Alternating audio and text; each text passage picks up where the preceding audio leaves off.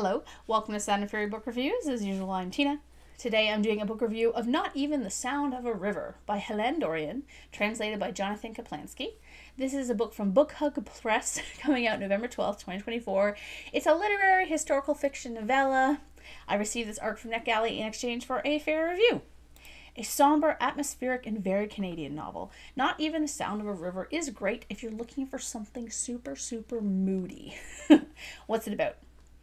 Hannah drives down the St. Lawrence River to her late mother's hometown, hoping to find out more about the distant woman who began to reveal herself only through notebooks discovered in her effects.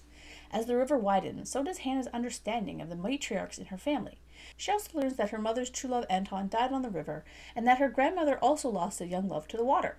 Both remain shipwrecked after their tragedy, their tales mirroring other survivors, such as, as the few who survived the Empress of Ireland's sinking, when more, where more than a thousand people lost their lives on the same river in 1914.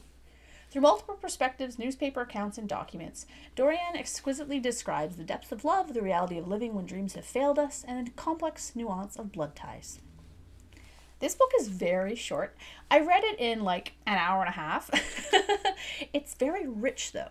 It follows a woman, you know, discovering the mysteries of her mother's past and basically answers the question of why her mom was such a downer and so standoffish the woman's whole life.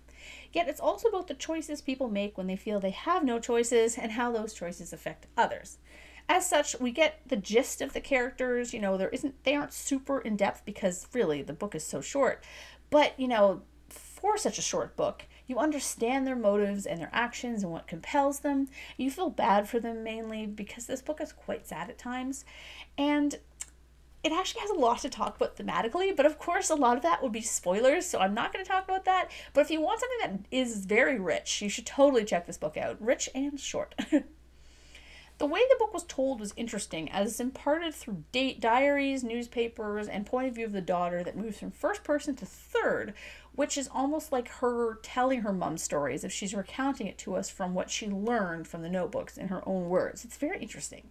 It's really well done and it draws you in because it moves back and forth from these different kind of narrative forms very quickly. So you'll get like a snippet here, a snippet there, and then it, it's very, it kind of flows like the tide It moves in and out from the present to the past too in a nonlinear way, keeps it immersive and interesting. You think one thing about the characters and then you learn something entirely new. It's it's very it's very well done in that way. There's also the inclusion of very real Empress of Ireland boat disaster that was mentioned in the jacket copy. This happened in 1914, just before the war. It was absolutely horrific. You know, thousands of people died, or over a thousand people died, including most of the children on board. The disaster overshadows the entire book in, in a way that is a stand in for generational trauma, as well as literally changing the life of one of the characters it's a bit of a period piece in that way, which was interesting as well.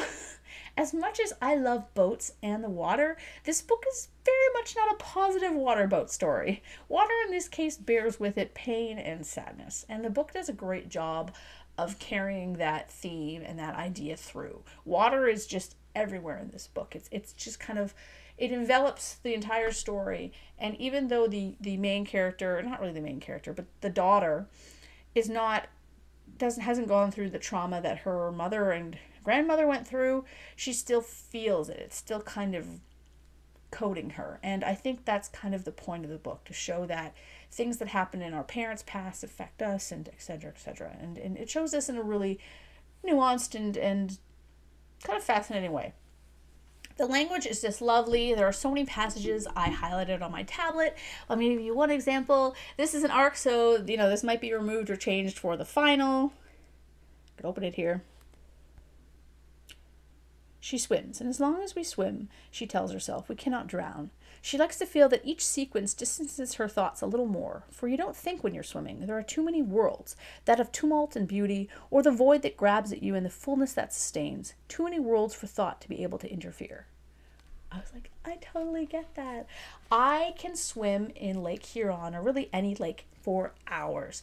For hours. Like I did it as a kid. Like I'd be in the water the whole time. I get such bad sunburns because I would never come out. Like I was never a play in the sand kind of kid. I was always in the water. And even as an adult, like if we're on Lake Huron, I'm in the water. I'm in there for like, you know, a good 70% of the time. And I will swim out as far as I can before I get freaked out and then I will come back. And I just I just that's the kind of feeling that it evokes in me as well. The the fact that you really can't focus on anything else when you're swimming. And I, I just I guess for me it's like a really good way to escape. And that's why I would really like to go live by the lake. Anyway, um, the book also has what I believe were chapter headings. I couldn't tell because the ebook formatting was kind of wonky. Like, I don't know. Publisher, if you watch this, email me below. I'll do your ebook arcs for you for super cheap and they'll be look really nice. Uh, anyway, so the line, the, the titles though of this these chapter headings were all lines for taken from poems. I love when books do this because I love epigraphs. Epigraphs aren't done enough nowadays, I think. Um, though I wish that it had been a little bit more obvious that these were poems because I could have look, looked them up as I went along. Actually, footnotes in the ebook would have been cool if you could like have them link out somewhere or even just like the title of the poem, then you could search it. Because with my tablet, because I use just like the Samsung tablet, what's yeah, there's stickers on it. Um, what's nice is that if I highlight a word, I can search and it just opens in Google. So I could search the title of the, of the, poem and open it in Google. That would be really cool. I could have done that, but I didn't have the titles until the end, and I wasn't going to go back. Because, you know, uh, in the words of, you know, one of my heroes, Ursula from The Little Mermaid, I'm a very busy woman and I haven't got all day.